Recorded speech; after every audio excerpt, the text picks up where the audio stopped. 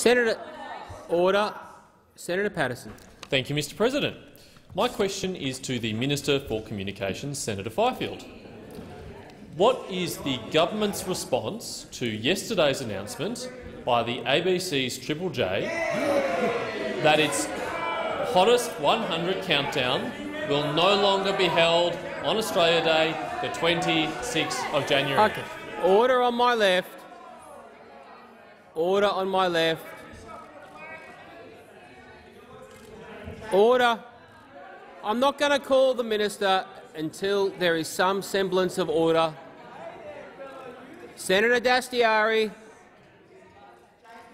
Senator Watt, you've had a pretty free run this question time. Senator Watt, order. So have you, Senator Dastyari. Senator Fifield.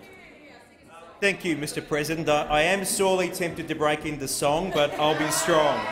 Um, Mr uh, President, uh, I, I, regret to say that uh, Senator Paterson is correct. Uh, yesterday, the ABC's Triple J uh, did announce that the hottest 100 will no longer be held on Australia Day.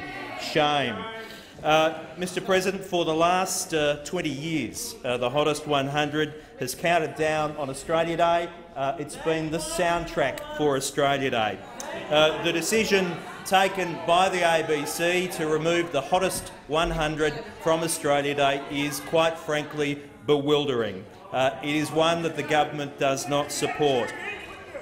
Uh, Mr uh, President, uh, we recognise, uh, obviously, that uh, Australia Day and order on my left and its history order. can be complex for some Indigenous Australians. Uh, and it's right and proper that those views will be covered on the Watt. ABC.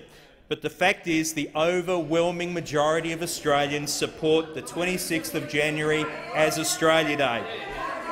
It's a day that we celebrate. It's a Senator, day that Senator unites Siegel, us. Senator Hanson-Young. Uh, the 26th of January is our national day. Uh, that's my view. It's the view of all my Senators, colleagues on this side of the chamber. Senators it's the view of the overwhelming majority of Australians. Uh, Mr President, uh, let me make clear uh, on behalf of the government uh, that the date of Australia Day will not be changing. Uh, Triple J and the ABC should respect that fact. Uh, Triple J and the ABC should not be inserting themselves into political debates by taking decisions like this. Absolutely. Senator Paterson on a supplementary question. Thank you, Mr President. And for the information of senators, I am more of an EDM man, and I don't play that as often as I'd like on Triple J.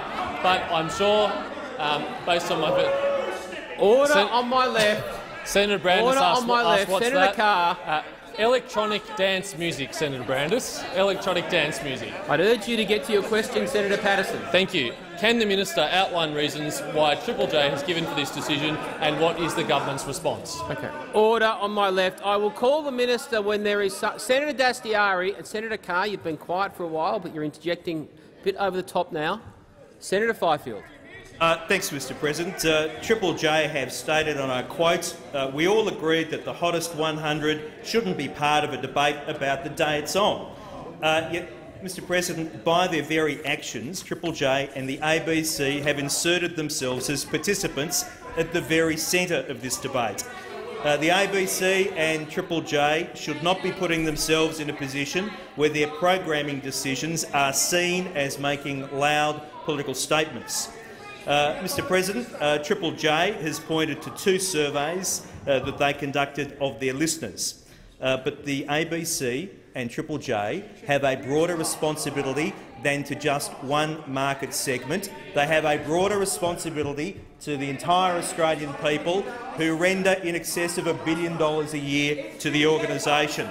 Poll after poll demonstrates public support for Australia Day as the 26th of January. ABC should Order. respect that. Se Senator, yeah. Senator, Reynolds. Uh, Senator Reynolds. You. Point of order. On a po Senator Cameron, can I hear Senator Reynolds on the point of order? Sorry, I was going to get a, a stand up for a point of order before the minister stood up, but I just want to ask, uh, refer to you comments Senator Carr made about Senator Paterson goose stepping, and I think that that is highly inappropriate. The connotations for that to Senator Paterson, and I would ask you ask him to withdraw it. That wasn't the context he said it Senator, Senator, okay, thank you, Senator Reynolds. Senator, I, I, did not, I did not hear the comment the first time, but I think I heard it upon its being repeated. Um, I, I, don't think that necessarily consider that he's unparliamentary, but Senator Carr, you've been requested to, to withdraw. You've been requested to withdraw. Oh, if it causes offence to uh, Senator, I'll withdraw it. Huh? Thank you, Senator Carr. That facilitates the operation of the chamber. Senator, Senator Paterson on final supplementary question. Thank you, Mr President. Can the minister inform the Senate what action the minister has taken to raise the government's concern with the ABC? Senator Fifield. Thank you, uh, thank you, Mr. President. Uh, I think, as colleagues would know, uh, the ABC has legislated independence uh, with regard to programming decisions, and uh, the ABC board has ultimate responsibility for these matters. Uh, I have, uh, however, written to the chair of the ABC uh, to ask that the board reconsider and reverse this decision. Uh, it will be a matter for the ABC board to determine uh, but the government's view is that they ought to recognise the overwhelming view of Australians on, on this left. issue. Order on my uh, left. As I've said, uh, Mr President, uh, the hottest uh, 100 uh, is the soundtrack of Australia Day. it's a popular and recognised feature of Australia Day. Australia Day is the 26th of January. It will remain so, and the ABC should recognise and respect that fact. Order.